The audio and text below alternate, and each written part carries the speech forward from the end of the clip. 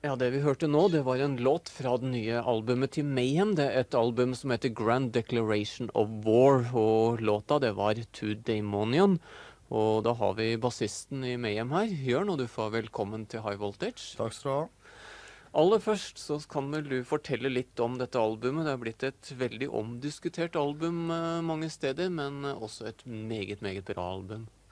Ja, eh, takk skal du ha. Nei, vi har jo jobba i to år nå med denne skiva her. Og eh, det var, eh, det var en smertefull eh, prosess. Så det var Det var en hard nedtur òg. regna ikke med at det ville bli så mye stress, men ja, ja. Det er greit. Eh, var, eh, dette er egentlig en eh, del to. Dette er del to og del tre etter albumet 'Wolves Lair Abyss. Er dette lagd opp som et konseptalbum? Ja, det stemmer det. Det er uh, Lair, det er part én. Det er riktig. Og du hører også det at det er en gjennomgående eh, team i hele skiva, og du finner også bl.a. riff fra Wolves Lair Abyss på denne nye skiva. Vet ikke om du la merke til det, Geir? Jo, jeg jeg har hørt litt på han, så det har jeg nok funnet ut. Ja, riktig. Nei, så eh, det er også Det er en musikalsk uh, team som går gjennom hele greia. Men uh, det som vel er veldig spesielt med den nye plata, er at dette er et album som ikke sitter så veldig fort og så lett som en del av de andre albumene. Her må man virkelig sette seg ned og høre etter, for det er blitt veldig teknisk etter hvert. Ja, det er akkurat det som er godt med sånn skive, er at man kan eh, lytte på den mange ganger, høre nye detaljer hver eneste gang. Og det klart gjør jo det mye mer interessant for lytteren. Og det er den type skiver jeg sjæl digger mest òg, selvfølgelig. Man, eh, man vokser med oppgaven. Dere har eh, gått fra et studio til et annet for hver eneste plate. Hvor havna dere denne gangen når dere spilte den nye? Denne gangen så havna vi på Fagerborg Studios, Um, som var uh, Som er, eller er, som er regna som en av de beste studioene i Norge. Både teknisk og uh, med de folka som var tilgjengelige der. Studiotekniker Børge Finsdal Uh, også en- gjorde også en jævlig god jobb. Var det noe som gikk alt egentlig som det skulle under innspillingen, eller var det en del ting som ikke helt gikk etter planen? Ja, nei, altså vi kunne selvfølgelig vært mye mer preparert når vi først kom dit. Vært øh, Men øh, det er alltid det. Du vil alltid se det i ettertid i en øh, en innspilling på størrelse med den skiva her. At det vil vært ting som de ville gjort annerledes. Klart det. Men det er egentlig så er det snakk om eh, Det har vært wasted time, da, men, eh, men eh, vi måtte bare gå igjennom det uansett for å få det helt perfekt. Denne gangen så havna dere på det franske plateselskapet Season of Mist. og Hvordan ble dette her kom i stand? Ja, når vi kom Når markedet fant ut at vi var da vi, At vi var løst fra forrige kontrakt, så kom det inn en mengde tilbud. Til slutt så kom vi ned til fem forskjellige selskap. Og jeg dro personlig ut for å sjekke ut åssen de eh, eh, var organisert med åssen folk de hadde ansatt osv. osv. Da kom vi ned til Season som Mist til slutt som, eh, som det beste alternativet. Ikke fordi det er en bra, svær label, men det er fordi vi er førsteprioritert. Og, eh, og eh, de har det distribusjonsnettet som vi trenger. Hvem er det som eh, lager låtene i Mayhem, og hvordan lager de låter? Ja, nå har uh, gitaristen Blasphemer uh, lagd låter fra, fra starten av, når han begynte hos oss i 1994. Så det er han som lager, mest, eller, lager musikken, mens eh, det er eh, Maniac som skriver tekstene. Men eh, Det er klart, vi er jo et band, og ting blir som det blir.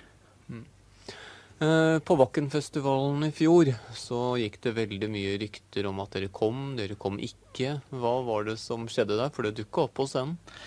Ja, det, Grunnen til at det blei så mye rykter, var det at vi skulle ha vært på en signing session der, som vi ikke dukka på. fordi det var jo tidlig om morgenen, og vi måtte ha noen timer på øyet når vi kom ned der pga. visse omstendigheter.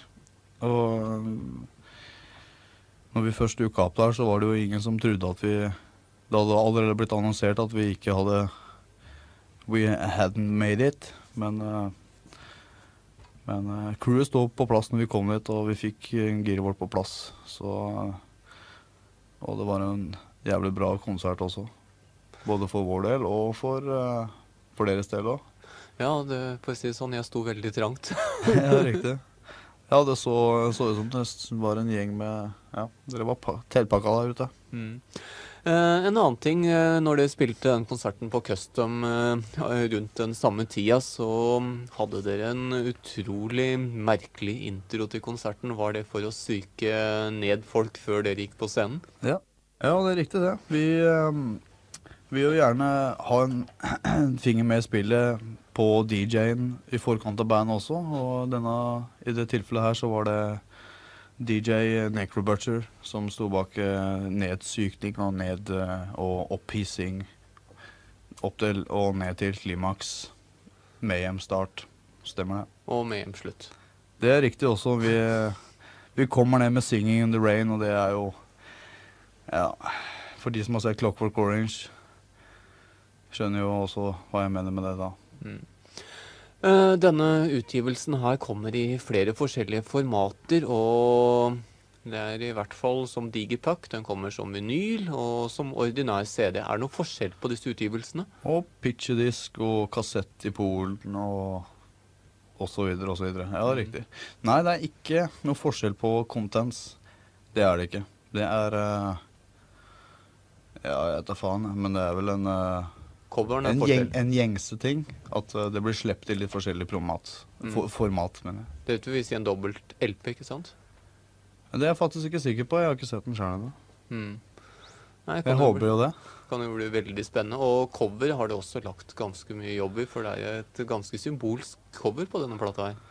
Ja, vi eh, Vi hadde coveret klart eh, halvannet år før eh, skiva.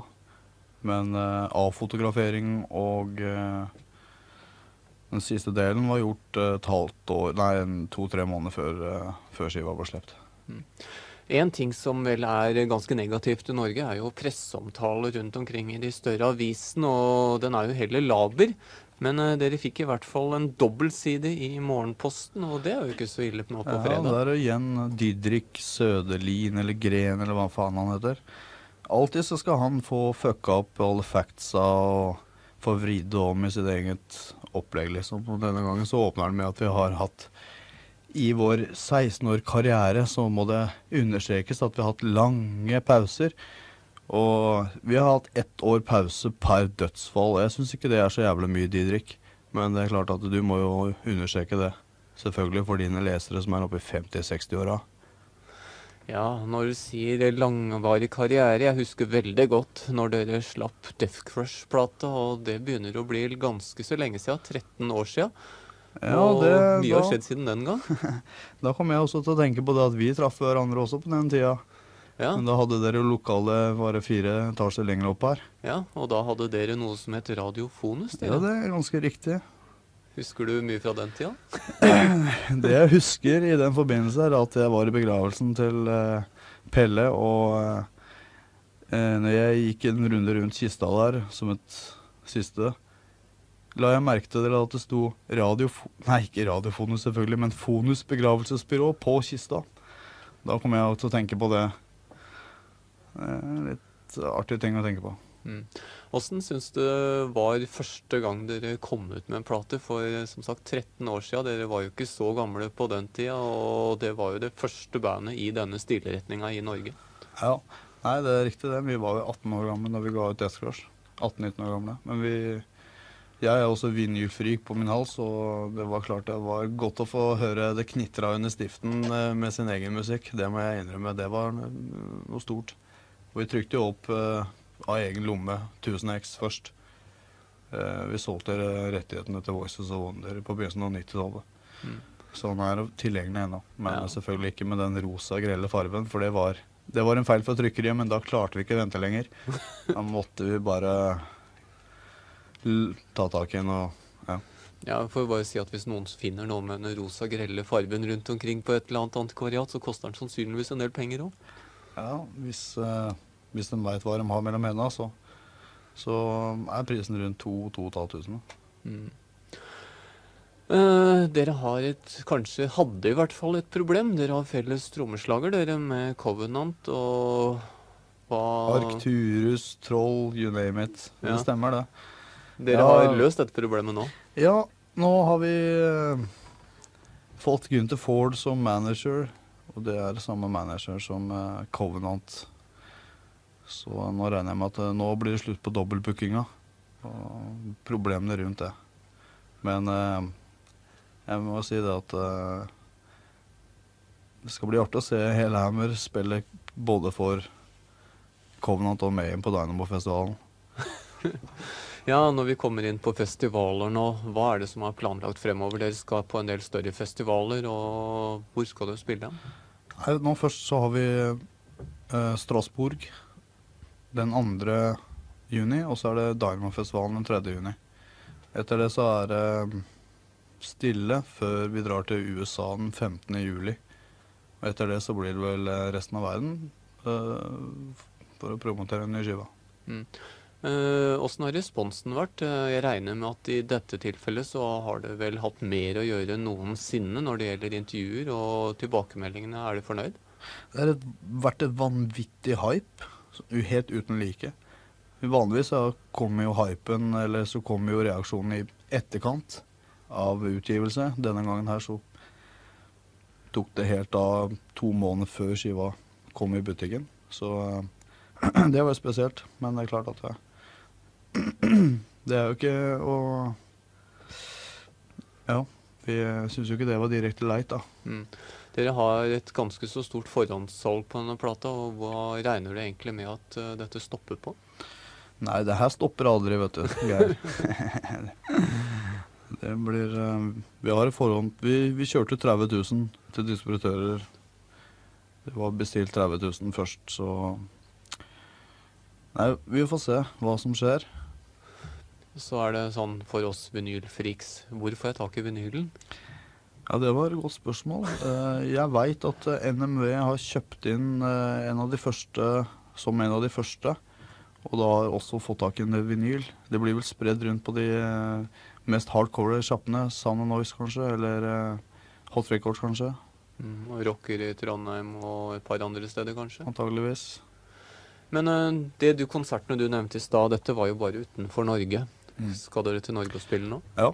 Vi har, vi, vi har, en forståelse, eller vi har en avtale med Rockefeller. Vi har en åpen dato. Eh, det blir på høsten en gang. Vi har satt Vi har eh, Folken i Stavanger den 29.9. Vi har Hulen i Bergen den 30.9. Eh, vi har Vi er i dialog med, med Union Scene i Drammen, men det blir vel også Eh, det gjør vi uavhengig av eh, denne turneen vi gjør i Europa nå, og USA. Denne her tar vi når vi skal til Asia som et oppvarmingsgig date. Mm. Så dere får en del reising rundt omkring nå? altså? Ja, det blir første gang vi kjører rundt i Norge, da. Så det blir jo litt artig. Mm. Uh, ja, det var en ting til jeg tenkte jeg skulle komme innom. Men dere er et av de virkelig få banda dere som uh, om Jeg vet ikke om jeg kan skryte av det eller ikke skryte av det, men som uh, er plaget av bootleg. Ja, jeg syns ikke det er uh, riktig uttrykket, å bli plaga av det. For det er jo selvfølgelig bootlegs. Det er fans som, som utgir bootlegs, som regel. Men det er klart at de mer kommersielle bootlegsene kunne vi jo hatt Kunne vi jo vært foruten. Når de bare trykker opp de vanlige covera våre og eh, bare trykker opp det gjengse materialet. Men det er klart, når fansen eh, utgir pitchedisks og fra noen rare tapes de har liggende og en konsert de har vært på, så syns jeg egentlig det er eh, Det er en anerkjennelse for mange års hardt arbeid, og jeg setter pris på hver eneste vinyl jeg kan få, til, eh, få tak i til samlinga mi. Mm. Mange har du i samlinga nå? Ja, vinyl så har jeg vel en rundt 20. Eh, Det samme gjelder CD, men selvfølgelig så har jeg ikke det samme CD-ene som jeg har i vinyl. Omvendt, så eh, Det, det finnes en del mediumutgivelser ute her. Jeg har vel ca. 30. Jeg regner med at eh, det finnes sikkert 20 til. Mm. Eh, er det noen sånne spesielle ting du kunne tenkt deg å ha sagt sånn på slutten av dette intervjuet, før vi kjører inn på siste låt? Nei, i grunnen ikke. Det må jo bare bli løp og kjøp uh, nye skiva vår, Grand Declaration of War. Den uh, er jævlig bra. Mm. Og da har du plukket ut en låt helt på slutten her, en låt som heter A Time To Die, og den kan du få lov til å introdusere selv og fortelle litt om. Ja, nå fortalte jo du uh, hva han het, men uh, det er en jævla aggressiv låt, og det er en uh, bra radiolåt, for den er ca. tre minutter lang. Nå får dere Time To Die.